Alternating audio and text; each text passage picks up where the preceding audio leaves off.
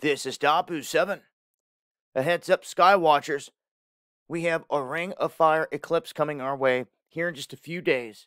Officially here on the 10th. This is going to kick off and it's going to start off up around the area of Toronto. People on the east coast of the United States will have a shot at seeing this. And to different people, this has different meanings.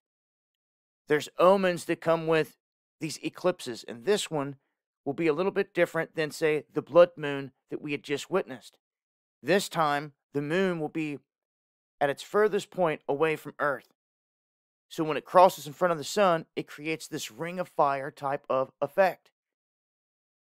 Now, if you go through and you look at Bible verses, so to speak, they say that, for instance, Acts 2.20 states the sun shall be turned into darkness and the moon into blood before the great and notable day of the Lord. Some see this as a bad omen in terms of the ring of fire, saying destruction will be on its way. Well, regardless of all of that, it's going to happen and it's going to be visible for many people. And it's going to start, like I said, at sunrise in Ontario, Canada. It's going to circle across the northernmost part of the globe. The path then continues north and ends over northeastern Siberia. This eclipse will last for about 100 minutes in total, and it will be visible from various different countries along the path.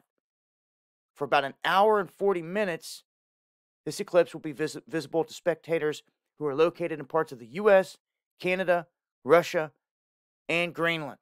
So, this is your chance to get out there and check it out. Cities like Toronto, Philadelphia, New York, they're all going to have a great chance at seeing this.